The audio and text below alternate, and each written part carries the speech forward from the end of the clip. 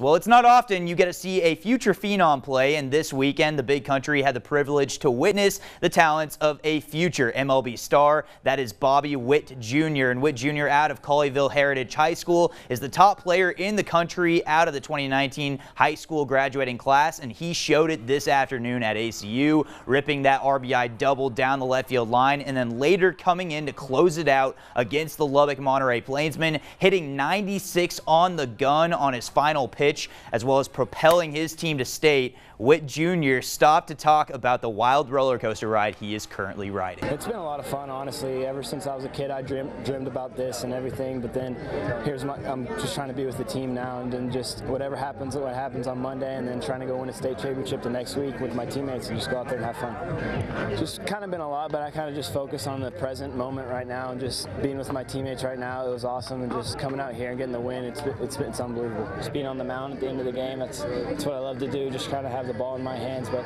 it was a team game, and this team is amazing, and hopefully we can get the job done next week. Witt is currently projected to be the second pick in the MLB draft next week.